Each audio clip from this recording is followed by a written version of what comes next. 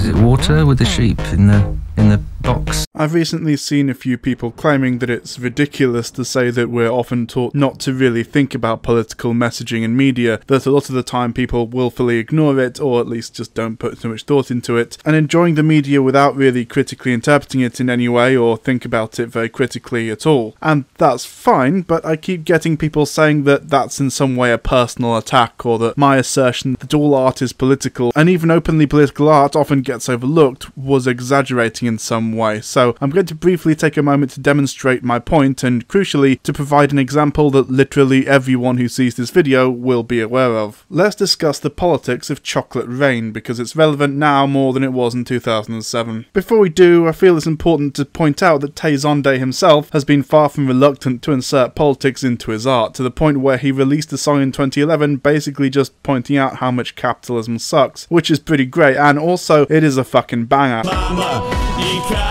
economy make me understand all the numbers. Why daddy's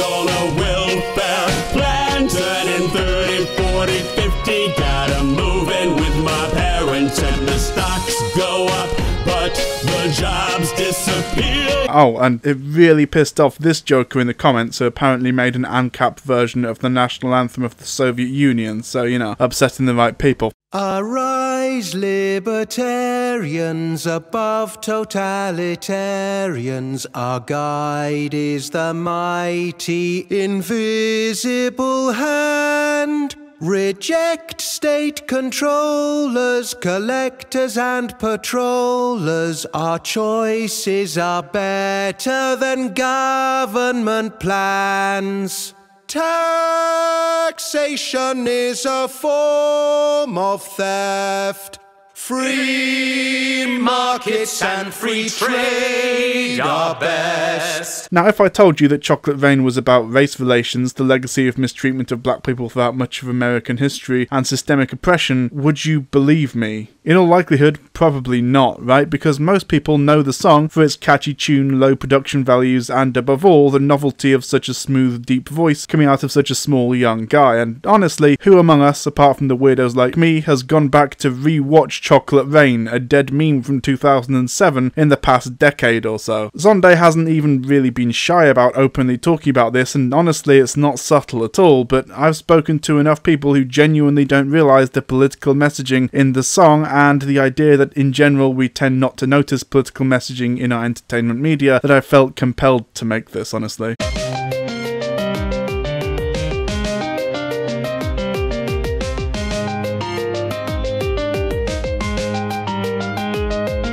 So what we're going to do here is go through the song line by line and then at the end we're going to hopefully tie all these threads together into a nice little bow and I can link this video to people on the internet in order to win petty arguments. Let's go. Okay, so first off, the titular chocolate rain, according to Zonday himself, is supposed to represent institutional racism, which means that all the effects described within the lyrics can be extrapolated from that. Likewise, the history crashing through your veins part is just a further reference to this. Chocolate rain some stay dry and others feel the pain. Clearly a reference to the fact that in Western society some are lucky enough to be born white and thus not suffer or struggle with institutional racism, whereas those in the black community have to feel the pain brought on by it constantly, whether it be police repression or casual racism in, for example, the job market. Chocolate rain, a baby born will die before sin. This line is controversial and no one really knows what it means, though my interpretation is that it's a reference to the high infant mortality rates in the black community due to a number of issues, mostly stemming from inequality. That before the sin part is in reference to the Christian belief that infants and babies who die all go to heaven as they have not yet been tainted by sin. Chocolate rain. The school books say it can't be here again. This is something I've actually talked about before, but in the West we tend not to learn much about the atrocities and immoral actions carried out by our home nations, and when we are, it's played off as just something that was in the past. It's over now, no need to dwell on it, and as a British guy I can tell you firsthand, we don't learn about all the awful shit committed under the British Empire and the legacy of colonialism and pillaging of Africa and much of Asia, because if we did that, a lot of people might start to ask why we don't just try and rectify the problems we caused, considering that that a lot of the reason Africa struggles so much to this day is as a direct result of that legacy. Likewise, from what I've been told, in the US the Civil War is often taught as an issue of states' rights, and things like the Civil Rights Act, Jim Crow, and again, the legacy of slavery are mostly portrayed as things of the past, and inequality isn't really acknowledged as thoroughly as it perhaps should be. Chocolate rain. The prisons make you wonder. This is a clever one because it could have two possible meanings. On the one hand, there's the obvious fact that black people make up a disproportionate amount of the prison population due to a combination of factors, mostly over policing, police corruption, and a legal system weighed against them. Legislation specifically designed to target black people, judges who give them longer sentences than white people for the same crimes, and socio-economic issues, or it's a reference to the 13th Amendment, which outlawed the practice of slavery except as punishment for crime, which is one of the many reasons so many private prisons are filled up as much as possible. The US replaced chattel slavery with prison slavery, and considering the fact that an overwhelming number of prisoners are black, well, not all that much has changed, has it? Chocolate rain. Build a tent and say the dry. Not entirely certain about this one, but my interpretation is that this is referring to the fact that people will point to successful or powerful black people like Barack Obama, and remember that this song came out in 2007, the year before Obama's inauguration, and proclaim the end of racism, when in reality, all that means is a very small number of black people can beat the odds, but that doesn't mean that all of them can or that they have the same opportunities. Chocolate rain. And see the light. Obviously, this is just to say, look at the bigger picture, but it could also refer to the way that people will point to a minority of bad or criminal black people in order to try to paint all of them with the same broad brush. And only looking at the whole black community can one accurately assess the situation. Chocolate rain. Forecast to be falling yesterday. Chocolate rain. They say. Again, this is a reference to the fact that in Western societies we are told that maybe some bad shit happened, but it's all in the past, even though, as recent events has shown, this is not the case. Chocolate rain. Your neighborhood insurance rates. This is a legacy of Jim Crow, but black neighborhoods have massively inflated insurance rates, as much as 70% higher in some areas, because of the presumed criminality of black people and black neighborhoods. Chocolate rain. Us happy living in a gate. A lot of well off white people, rather than joining in trying to fight to rectify the situation and standing in solidarity with black people, will instead gate themselves off in so called gated communities, isolated from the outside world and living in fear of an exaggerated black menace. Chocolate rain. The street the other day. Pretty self explanatory, but a lot of people will cross the street to avoid black men because, again, there is an unfounded assumption of criminality and violent tendencies. Chocolate rain. Seldom mentioned on the radio. Society doesn't like to acknowledge systemic racism, so you'll very rarely actually hear real discussions about it in mainstream media. Chocolate rain.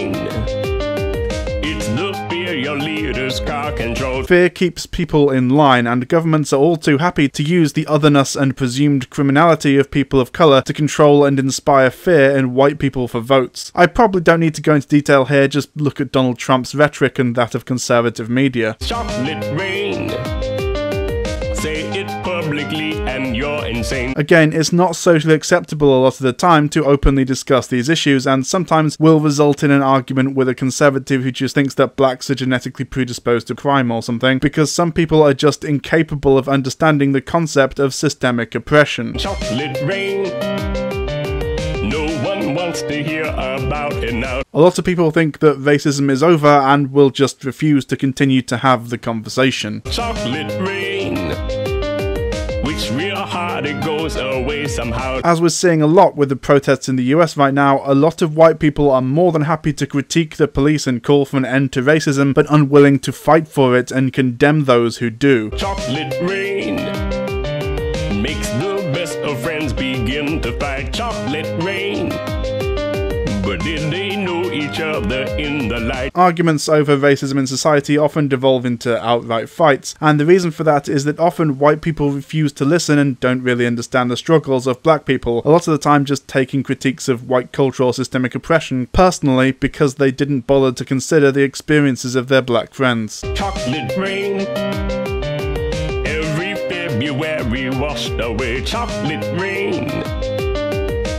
Behind his celebrate. Black History Month in the US is in February. The media is awash with images of MLK, and we get to pretend that he wasn't literally assassinated by the US government, and that we can celebrate the end of racism, only to go back to normal in March, when many of the issues people like MLK and Malcolm X fought for are still problems to this day. But we're not allowed to discuss them after March 1st. Chocolate rain.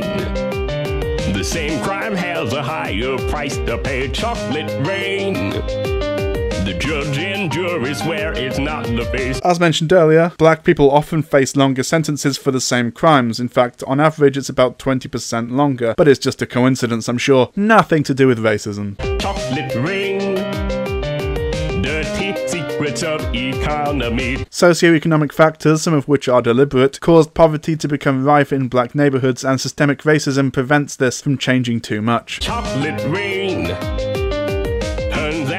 Into GDP. This could easily be a reference to a few things, from the concept of wage slavery under capitalism, the history of black slave labour in the US, or indeed the aforementioned concept of prison slave labour. Black bodies are often used in physical labouring jobs, and in many ways, the US was built by slavery or black bodies, and the descendants of the people who built America are now languishing in poverty. Chocolate rain.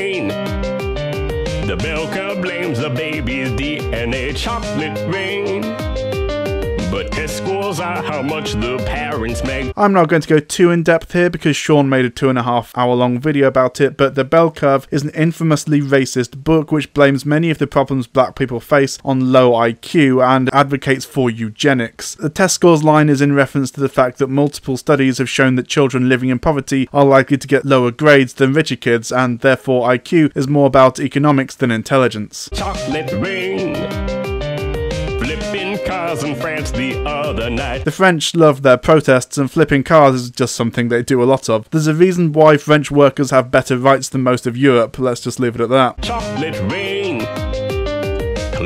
Cleans the sewers out beneath Mumbai. I believe this is a reference to the caste system in India, in which the lowest caste, the Valmiki, are often forced to exist by scavenging and cleaning sewers. Hundreds of thousands of Indians are still thought to make their living as scavengers, emptying toilets by hand or cleaning septic tanks and sewers without protection. Hundreds of them die every year, and they can't just get another job because no one will hire anyone that low on the caste system, so they're forever trapped. Chocolate rain. More than marching, more than passing law. This is a clear reference to the Civil Rights Act and the fact that people think that racism can be ended with marching and legislation, which obviously we're seeing now because the Civil Rights Act was passed decades ago and yet it seems comparatively little has changed, given the recent revelations over police brutality and treatment of people of colour. Chocolate rain.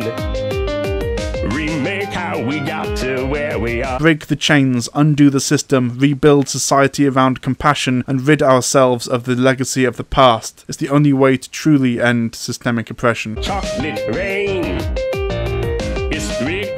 Crashing through your veins. All art is political. Chocolate Rain is about systemic racism and is even more relevant today than it was in 2007. Support the protesters, donate if you can, and fight for justice.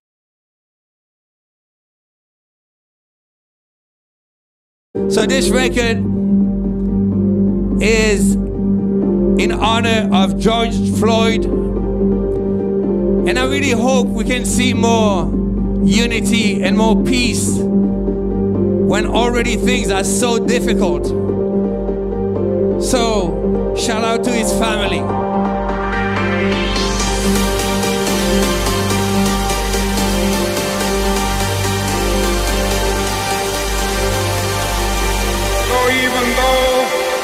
Face difficulties of today and tomorrow, I still have a dream. It is a dream deeply rooted in the American dream. I have a dream